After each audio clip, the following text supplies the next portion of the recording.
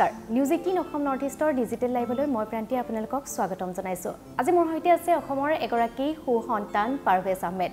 স্বাগতম জনাইছোঁ আপোনাক আমাৰ অনুষ্ঠানলৈ।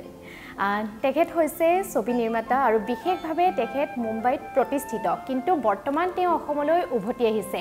কিয় তেওঁ অসমলৈ উভতি আহিলে বা মুম্বাইত তেখেত কেনেদৰে গৈছিল কি নাই কি কৰিছিল তেওঁ সেই সন্দৰ্ভত আমি সকলো কথা পাতিম আজি এই বিশেষ অনুষ্ঠানত। আপোনাৰ পৰা প্ৰথমে জানিম আপোনাৰ মুম্বাই যাত্ৰা সন্দৰ্ভত। আপুনি কেতিয়া গৈছিল বা আপুনি মুম্বাইলৈ ছবি নিৰ্মাণ কৰিবলৈ বুলি গৈছিল নে অন্য কিবা কামত গৈছিলে সেই বিষয়ে প্ৰথমে অলপ জানি লওঁ। অ'কে মই বম্বেলৈ গৈছিলোঁ actually M A in economics কৰিম বুলি। কিন্তু নকৰিলোঁ। মই সৰুৰ পৰা এডভাৰটাইজিং ৱৰ্ল্ডখনৰ ফালে মানে খুব বেছি ফেচিনেশ্যন এটা আছিলে। তে ভাবিলোঁ মই এডভাৰটাইজিঙত কিবা কৰিম। গৈ পেলাই ডাইৰেক্টৰ এডভাৰটাইজিং এজেঞ্চিত চাকৰি পোৱা নাযায়। আৰু তেতিয়া আমাৰ অসমত ইয়াৰ ওপৰত কোনো হেৰিয়ে নাছিলে মানে ইনফৰ্মেশ্যন নাছিলে এডভাৰটাইজিংটো কি কি কথা সেইটো একো নাজানিছিলোঁ। তাত গৈ পালোঁ। বম্বেত মই গ'লোঁ কিন্তু তাত মোৰ কোনো চিনাকি মন নাছিলে। তাৰপিছত তাত থাকিলোঁ থাকি পেলাই মই এডভাৰটাইজিং মেনেজমেণ্ট কৰিলোঁ। এডভাৰটাইজিং মেনেজমেণ্ট কৰি মই অসমত অলপ ফেশ্বন ফটোগ্ৰাফী কৰিছিলোঁ। এই অসমৰ এখন অসমীয়া মেগাজিন নামটো এতিয়া মই পাহৰিছোঁ। ছোৱালীৰ মেগাজিন নহয় প আখৰৰ এনিৱে তাৰ দুটামান কাভাৰ পেজ কৰিছিলোঁ। সেই তাৰ পৰ্টফলিঅ' কেইটামান আছিলে মোৰ লগত।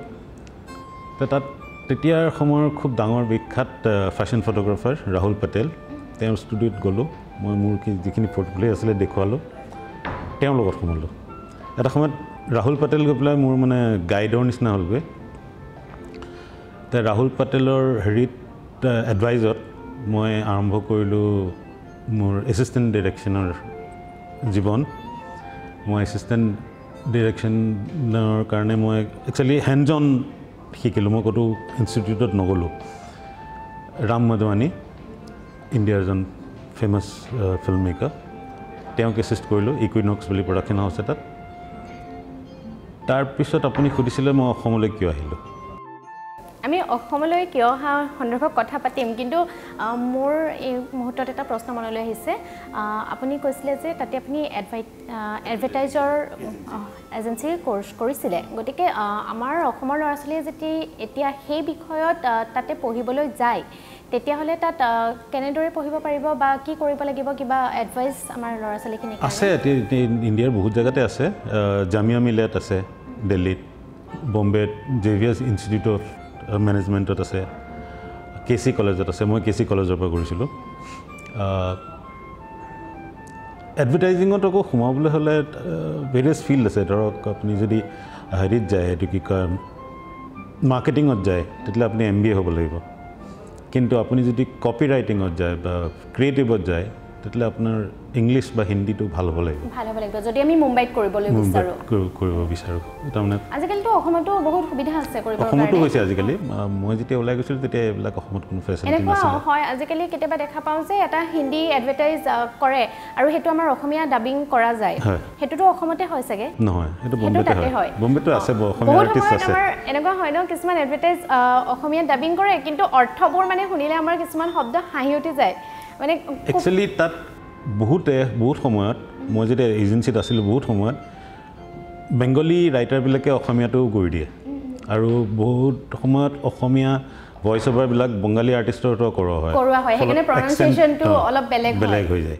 আজিকালি এতিয়া আছে তাত এইটো কি কয় অসমৰ আৰ্টিষ্ট আছে অসমীয়া মানুহৰ দুটাই কৰোৱা হয়। কৰোৱা হয়। কিন্তু আচলতে ইণ্টাৰেষ্টিং হ'ব লাগে ন? যিকোনো এডভাৰটাইজ সেইটো সেইটো খুব বেছিকৈ চাই চাগে। এইটো চাই কিন্তু এটা সময়ত মানে কি হয় যদি প্ৰাইমেৰিলি হিন্দী বা এইটো কি কয় ইংলিছত হয় মেইন প্ৰডাকশ্যনটো তাৰপিছত এটা সময়ত গোটেই ইণ্ডিয়াৰ প্ৰাইমেৰী লেংগুৱেজবিলাকলৈ তাক ডাব কৰা হয়। ডাব কৰা হয় তেতিয়া আমি এইটো গোটেইবিলাক লেংগুৱেজ নাজানো। ফলে আমি লেংগুৱেজ ছুপাৰভাইজাৰৰ ওপৰত হেৰি কৰিব লগা হয় ডিপেণ্ড কৰিব লগা হয়। আপোনালোকে। ফলত কেতিয়াবা তেনেকৈ ভুল নজনাকৈ। হৈ যায়। আৰু এনেকুৱা হয় ন আমি শুনি আছোঁ এডভাৰটাইজটো আমাৰ মুখস্থ হৈ যায় কিছুমান এডভাৰটাইজ ভাল লাগে মুখস্থ হৈ যায় এডভাৰটাইজবোৰ এতিয়া আহিছোঁ অসমৰ কথা লৈ আহিছোঁ। আপুনি অসমলৈ উভতি আহিলে কিমান বছৰ আপুনি মুম্বাইত থাকিলে? বত্ৰিছ বছৰ। বত্ৰিছ বছৰ থকাৰ পাছত আপুনি উভতি আহিব কিয় মন গ'ল? একচুৱেলি মই একেবাৰে উভতি অহা নাছিলোঁ। মোৰ এটা চেলেঞ্জ আছিলে যে অসমীয়া আৰ্টিষ্টক লৈ মই কিবা এখন কৰোঁ। মই আহিছিলোঁ এখন শ্বৰ্ট ফিল্ম বনাবলৈ। এখন এতিয়া এম এক্স প্লেয়াৰত আছে চেৰি পিকাৰ বুলি। ইংলিছত আৰু গোটেই টেকনিচিয়ান আৰু এক্টৰ এক্ট্ৰেছ আমাৰ অসমৰ। গোটেইখিনি কৰি সেইখন কৰিলোঁ। কেইবাটাও ক- কয় ইণ্টাৰনেশ্যনেল ফিল্ম ফেষ্টিভেলত চিলেক্টো হৈছে সেইখন। তাৰপিছত সেইখন কৰি থাকোঁতেই তাৰে এজন এক্টৰ বিভূতিভূষণ হাজৰিকা। বিভূতিয়ে মোক ক'লে যে আপোনাৰ হাতত যদি কিবা কনচেপ্ট আছে এটা নতুন অ' টি টি প্লেটফৰ্ম আহিছে তেওঁলোকলৈ পঠিয়াই দিয়কচোন। আৰু মোৰ তাত কনচেপ্ট থাকে। তে মই পঠিয়াই দিলোঁ। আৰু ইমিডিয়েটলি তেওঁলোকৰ পৰা এপ্ৰুভেল আহি গ'ল ৱেব ছিৰিজটোৰ কাৰণে।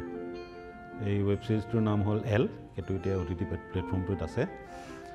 সেইখন কৰি থাকোঁতেই মই ভাবিছিলোঁ চাগে ঘূৰি গুচি যাম। আকৌ এই চিনেমাখন আহি গ'ল। তাৰমানে অসমে মোক এৰি দিয়া নাই। আপোনাৰ নতুন এখন ছবি আহি আছে ন? তাৰ সন্দৰ্ভতো আমি কথা পাতিম।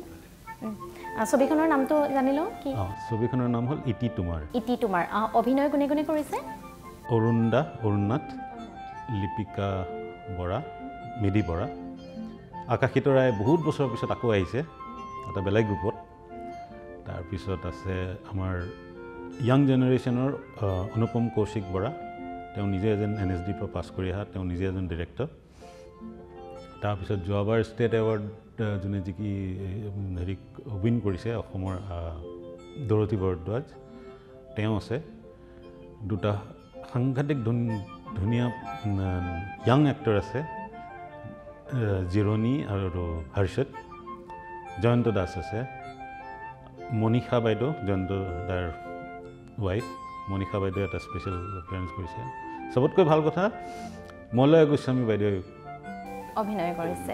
মানে ইয়াতে সকলো একেবাৰে প্ৰখ্যাত গোটেইখিনি। গতিকে আমি আশা কৰিছোঁ ছবিখন খুব বেছি ভাল লাগিব চাই। কিহৰ ওপৰত নিৰ্মাণ কৰা হৈছে বেচিকেলি এই ছবিখন একচুৱেলি মোৰ বেষ্ট লাইনটো হ'ল the past is true the present is a tale of little lies তাৰমানে এই চিনেমাখনৰ এটা কাহিনী আছে। কাহিনীটো হ'ল কি এখন কিতাপ আমেৰিকাত পাব্লিছ হৈছিলে এ লং জাৰ্ণি বুলি এজন অসমীয়া মানুহৰ। সেইখন কিতাপ পঢ়ি পেলাই মই তাৰ কিছু অংশ লৈছিলোঁ। ফলত তেওঁৰ লগতো ৰাইটাৰজনৰ লগতো মই কণ্টেক্টত আহিলোঁ। সৰুকৈ কৈ থওঁ ৱৰ্ল্ড ৱাৰ টুৰ সময়ত অসমৰ এটা ফেমিলিয়ে ছুইচাইড কৰিছিলে। নাইনটিন ফৰ্টি টুত মানে তেওঁলোক যোনে ছুইচাইড কৰিছিলে তেখেত কটনৰ টপাৰ আছিলে। সঁচা কাহিনী সঁচাকৈ। কটনৰ টপাৰ আছিলে কিন্তু সেই দৰমহা পাতি বন্ধ হৈ গ'ল সংসাৰ চলাব নোৱাৰা হ'ল। ফলত এদিন তেওঁলোক নাৱত উঠিলে ব্ৰহ্মপুত্ৰৰ মাজলৈ গ'ল। গোটেই ফেমিলিটোৱে নাও মানে ব্ৰহ্মপুত্ৰত জাপ দি দিলে তেওঁলোকে এটা তিনিমহীয়া শিশু পাহৰি গ'ল নাৱত। সেই শিশুটো এতিয়াও জীয়াই আছে। তেওঁ আমেৰিকাত এতিয়া বৃদ্ধ। তেওঁৰ এটা আনফুলফিল্ড লাভ ষ্টৰী আছে। সেইটোৰ ওপৰতে আমি চিনেমাখন বনাইছোঁ। এতিয়া তেওঁ পঞ্চাছ বছৰৰ পিছত মোৰ চিনেমাৰ প্ৰটাগনিষ্টে পুৰণা প্ৰেয়সী বিচাৰি অসমলৈ আহে। আৰু এই চিনেমাখনৰ এটা চেলেঞ্জিং হ'ল কি কাষ্টিংটো আমাৰ আৰম্ভ হয় তেওঁলোক বৃদ্ধ অৱস্থাত। এতিয়া বৃদ্ধ অৱস্থাৰটো যেতিয়া কলেজীয়া লাইফ দেখুৱাবলৈ লগা হয় ঠিক তেনেধৰণৰ এক্টৰ মই চিলেক্ট কৰিব লগা হ'ব। তাৰপিছত তেওঁলোকৰ এটা পাৰ্ট আছে দহ বাৰ বছৰ। তাৰমানে তেওঁলোকে সৰুৰ পৰা একেলগে ডাঙৰ হোৱা। এটা সময়ত গৈ তেওঁলোক এক হ'ব নোৱাৰিলে। ফলত কাষ্টিংটো বিৰাট ডিফিকাল্ট আছিলে। মানে কাক আপুনি চিলেক্ট কৰিব? সেইটো সময়ত দিগদাৰ হৈ গৈছিলে। কাৰণ অৰুণদাৰ লগত মিলা। মিলা দেখাটো একেই কলেজীয়া। এক্টৰ এজন লাগিব ইফালে মোক এইটো কি কয় আপোনাৰ আপুনি এখন যিখন দিছিলে এখন পোষ্টাৰ হিচাপে দিছিলে সেইখন দিওঁতে ময়ে কনফিউজ হৈ গৈছোঁ। মানে ডেকা কালৰ আৰু অৰুণাথক এবাৰ দেখিলোঁ তাত। আকৌ ডেকা কালৰ দেখিলোঁ মই কনফিউজ হৈ গৈছোঁ। মানে অৰুণাথ ডেকা কালত আহি গ'ল কি মানে ময়ো কনফিউজ হৈ গৈছোঁ। সেইটো বিৰাট চেলেঞ্জিং আছিলে আৰু মই ভেৰি লাকি মানে মই বিচাৰি পালোঁ। আৰু সাংঘাতিক এক্টৰ গোটেই। অঁ। অৰুণ নাথ মলয়া গোস্বামী গোটেইকেইজন মানে ভাবিবলগীয়া। আৰু চিনেমাখন মানে ভাবিয়ে ভাল লাগিছে যে ভাল লাগিব চিনেমাখন। কমপ্লিট ৰোমেঞ্চ ৰোমাঞ্চ ভাল লাগিব। আমি সকলোৱে আশা কৰিছোঁ এইখন চাবলৈ। কিমান তাৰিখে ৰিলিজ দিব? ফেব্ৰুৱাৰী ন তাৰিখ দুহেজাৰ চৌব্বিছ। দুহেজাৰ চৌবিছ আহি আছে বেছি দিন নাই ফেব্ৰুৱাৰী অঁ, ফেব্ৰুৱাৰীত দিব যেতিয়া। এই ছবিখন নিৰ্মাণ কৰোঁতে আপুনি আচলতে আৰু কেনেকুৱা কনচেপ্ট ইয়াত বিশেষভাৱে নতুন কিবা ভৰাইছে নেকি? মানে আমাৰ অসমতো ধৰি লওক প্ৰেম কাহিনী থাকেই কিবা কিবি বহুত নিৰ্মাণ হৈছে কিন্তু ইয়াত স্পেচিয়েলি কিবা সোমাইছে নেকি?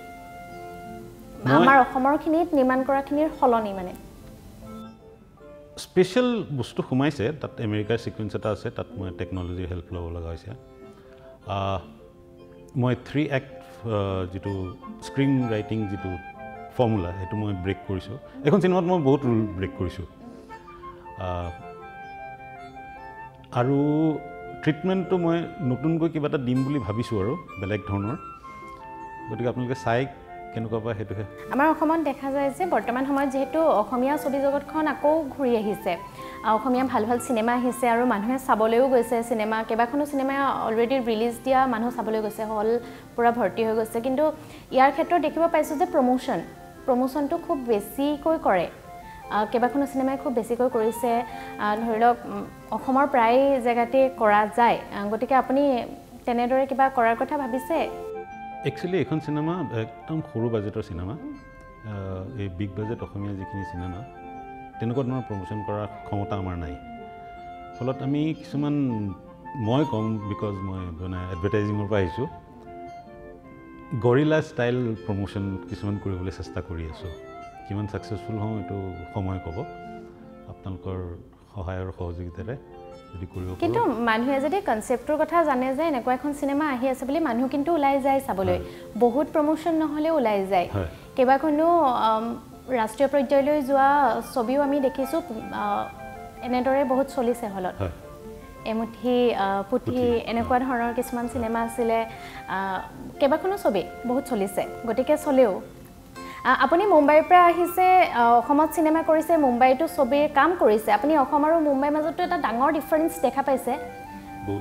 বহুত বেছি ডিফাৰেঞ্চ গতিকে মুম্বাই বস্তুখিনি লৈ পিনে আপুনি যেতিয়া ইয়াত কাম কৰিছে তেতিয়া ভাবেনে যে অসমত আৰু এইখিনি এইখিনিৰ প্ৰয়োজন? আমাৰ অসমত কি কি প্ৰয়োজন কি কি নাই বা মুম্বাইত এইখিনি আছে ইয়াত নাই আমাক এইখিনি লাগে বা আমি কেনেদৰে আনিব পাৰিম? এইটো টেলিভিশ্যনৰ পৰ্দাত কিমানখিনি কোৱা শুদ্ধ নে শুদ্ধ মই নাজানো তথাপিও মই ক'বলৈ চেষ্টা কৰিম। অসমত এটা বস্তুৰ খুব অভাৱ সেইটো হ'ল প্ৰফেচনেলিজম আৰু এটা বস্তুৰ অভাৱ পেশ্যনটো মানে বম্বেত যেতিয়া এক্টৰ এজনক লগত কথা পতা যায় তাৰপিছত বা টেকনিচিয়ান এজনৰ লগত কথা পতা যায় তেওঁলোকে আপোনাক ফোন কৰি পাগল কৰি দিব। কেতিয়া কি হ'ব কেতিয়া কি হ'ব। সেই পেশ্যনটো আৰু সেই হেৰিত মানে প্ৰফেচনেলিজিমটো আহিবলৈ বহুত বাকী আছে ইয়াত। আৰু দুই নম্বৰ হ'ল কি আমাৰ প্লেনিংটো আমাৰ ইয়াত প্লেনিং অলমষ্ট খুব কম হয়। ভেৰি এডক বেচিছত কাম কৰা হয়। মোৰ সৌভাগ্য মই যিটো টীমৰ লগত ইয়াত কাম কৰিলোঁ মোৰ D O' P Rupamjyoti Saikia মোৰ এছিষ্টেণ্ট ডিৰেক্টৰ হিমাংশু তাৰপিছত মোৰ আৰ্ট ডিৰেক্টৰ জ্যোতি মোৰ মিউজিক টীম হীৰক জ্যোতি আৰু জ্যোতিমালা ছিংগাৰ তেওঁলোকে কৰি আছে। সিহঁতবোৰৰ সাংঘাতিক পেশ্যন আছে। ইফালে অৰুণ দা হেৰি বহুত পেশ্যন আছে। বহুত চেলেঞ্জিং মানে তেওঁলোকে কেৰেক্টাৰবোৰ কৰে। মোৰ এডিটৰ যোনে মোৰ এলখন এডিট কৰিছিলে ধীৰু নতুন ল'ৰা সিহঁতবোৰৰ পেশ্যনটো আছে। কিন্তু প্ৰফেচনেলিজিমটো বহুত মানুহৰ নাই। ফলত কি হয় টিমটো ইমবেলেঞ্চ হৈ যায়। যেতিয়া এই এই মানুহখিনি হাৰ্ড ক'ৰ প্ৰফেচনেল আৰু এইফালে যদি কেইজনমানৰ এজনেৰে তাৰমানে এইটো ঘৰটোৰ নিচিনা ন এটা খুটা যদি ঘপকৈ হেৰি হৈ যায় তেতিয়াহ'লে গোটেই বস্তুটো ইট শ্বেকছ আৰু মোৰ যোনজন এক্সিকিউটিভ প্ৰডিউচাৰ আছে অনুপম হাজৰিকা তেওঁ এইটো লাইনত বহুত দিন দিনৰ পৰা আছে। ফলত সেই সহযোগিতাখিনি আছে কিন্তু বহুত আহ, মুম্বাইত আপুনি যেতিয়া কাম কৰি আছিলে সেই সময়খিনিত আপুনি মুম্বাইৰ ছবিখিনি কৰাৰ ক্ষেত্ৰত বহুকেইজন ডাঙৰ ডাঙৰ ডিৰেক্টৰৰ সৈতে কাম কৰিছিলে। মই বম্বেত ছবি কৰা নাই মই বম্বেত এডৰ কাম কৰিছিলে। এডৰ কাম কৰোঁতে আপুনি বহুতখিনি আম, ডাঙৰ ডাঙৰ মানুহৰ সৈতে কাম কৰিছিলে বা আপুনি বহুতকেইজন এক্টৰ এক্ট্ৰেছৰ লগত কাম কৰিছিলে। তেতিয়া আপোনাৰ অভিজ্ঞতাখিনি কেনেকুৱা? ধৰি লওক আপুনি কৰিশ্মা কাপুৰহঁতৰ লগতো কাম কৰিছিলে। তেওঁলোক কিমান ওপৰৰে হয় গতিকে তেওঁলোকৰ সৈতে কাম কৰাৰ অভিজ্ঞতাখিনি কি ক'ব? খুবেই ভাল। মই কৰিশ্মাৰ লগত কৰিছোঁ ঐশ্বৰ্যা ৰায়ৰ লগত কৰিছোঁ সোণালী বেন্দ্ৰেৰ লগত কৰিছোঁ। আছিন বুলি এগৰাকী এক্টৰ আছে। আশ্বিন আছিল। তেওঁৰ লগত কৰিছোঁ। তাৰপিছত ৰংগীলা উৰ্মিলা মাতংকাৰ যুৱৰাজ সিঙৰ লগত কৰিছোঁ। তাৰপিছত ইৰফানৰ লগত কৰিছোঁ। তেওঁলোক আহে সময়ত আহে তেওঁলোকে আৱাৰলি টাইম দিয়ে। তেওঁলোকে গোটেই দিনটো নিদিয়ে। নিদিয়ে ইমান সময়ৰ ভিতৰত কৰি শেষ ঘণ্টাৰ ভিতৰত শেষ কৰিব লাগিব পাঁচ ঘণ্টাৰ ভিতৰত শেষ কৰিব লাগিব তেনেকৈ ফলত আমাৰ কি হয় প্লেনিংটো আগতে আৰম্ভ হয়। ইনফেক্ট লাইটিঙো হৈ যায়। সকলো ৰেডি কৰি থৈ তেওঁলোক আহে কৰে আৰু তেওঁলোকৰ মেকআপ হয় আৰু। আমি শ্বট লওঁ এৰি দিব লাগিব। তেওঁলোকে পূৰা প্ৰফেশ্যনেল আৰু। অন্য একো নাই আৰু। কিন্তু ভালো লাগে ন? ইমান ডাঙৰ ডাঙৰ তেওঁলোক গোটেই ইণ্ডিয়াৰে বা গোটেই বিশ্বৰে তেওঁলোক জনপ্ৰিয় হয়। গতিকে এনেকুৱা মানুহখিনিৰ লগত কাম কৰাৰ অভিজ্ঞতাটো ট'টেলি বেলেগ হ'ব। হয় মই একচুৱেলি মই এক্সিডেণ্টেল ডিৰেক্টৰ বুলি কওঁ। তাৰমানে প্ৰথম মোৰ এটা এড হ'ল ফিলিপছ ৱাইড স্ক্ৰীণ টেলিভিশ্যনৰ সেইটো তেতিয়া মই এজেঞ্চিত ক্ৰিয়েটিভ আছিলোঁ ফিল্ম যোনজনে লিখিছিলে আমি দুটা বাহিৰলৈ যাওঁ গৈ পেলাই স্ক্ৰিপ্ট আইডিয়া কৰোঁ ব্ৰেইন ষ্টৰ্মিং কৰোঁ কৰি পেলাই আমি কথা পাতোঁ। ঘপকৈ সি ডিচাইড কৰিলে যে সেইটো এড সি মোৰ লগতহে বনাব।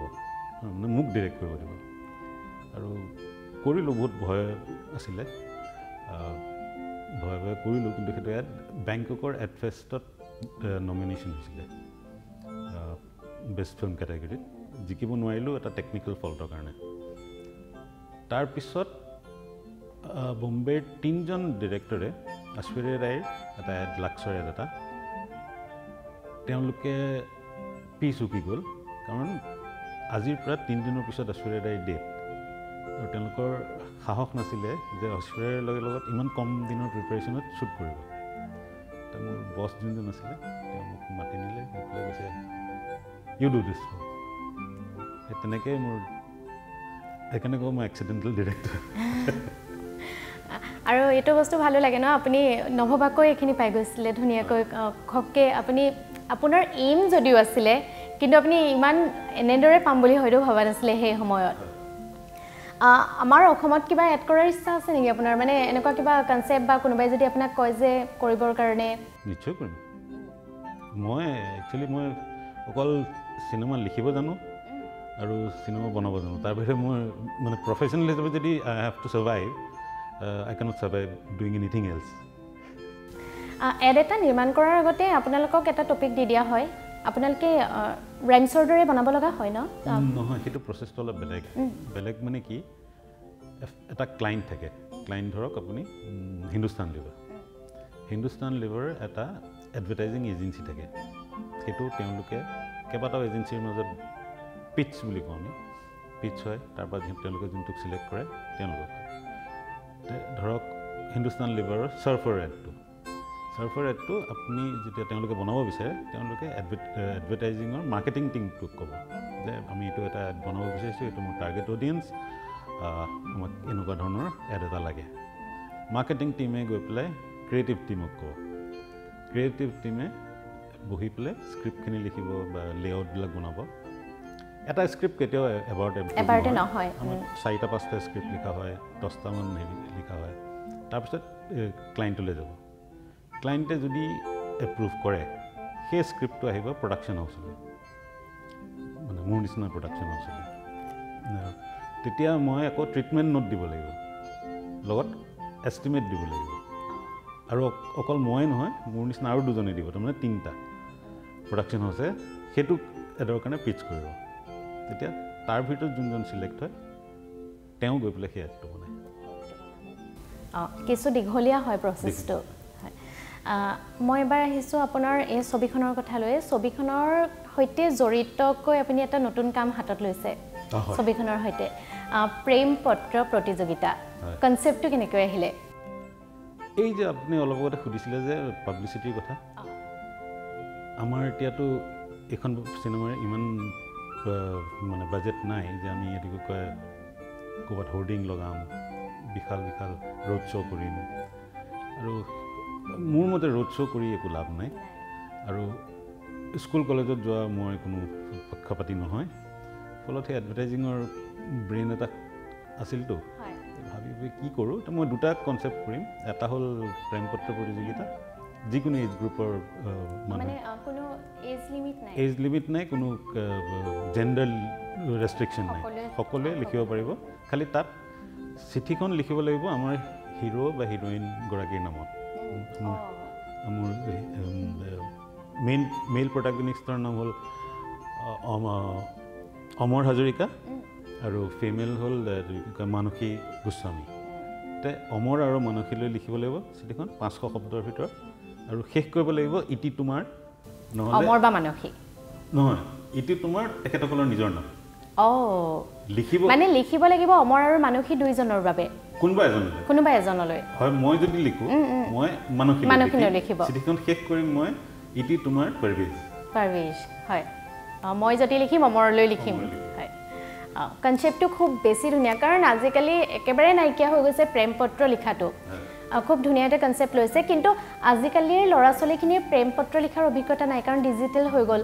গতিকে তেওঁলোকো যিসকলে আচলতে সাহিত্য চৰ্চা কৰি ভাল পায় তেওঁলোকৰ বাবেতো খুব বেছি ভাল লাগিব তেওঁলোকে ভাল পাব।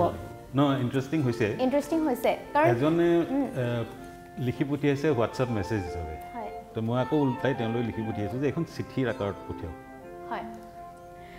এতিয়া প্ৰেম পত্ৰ প্ৰতিযোগিতাত ময়ো অংশগ্ৰহণ কৰিব পাৰোঁ মোৰ মা দেউতাই অংশগ্ৰহণ কৰিব পাৰিব চবেই পাৰিব। কিন্তু ইয়াৰ আপোনালোকে যোনটো কনচেপ্ট লৈছে আপোনালোকৰ বাবে পঠিয়াব যিহেতু লাগিব গতিকে ইয়াৰ ছিষ্টেমটো কেনেকুৱা কেনেদৰে আপোনালোকলৈ পঠিয়াব পাৰিব?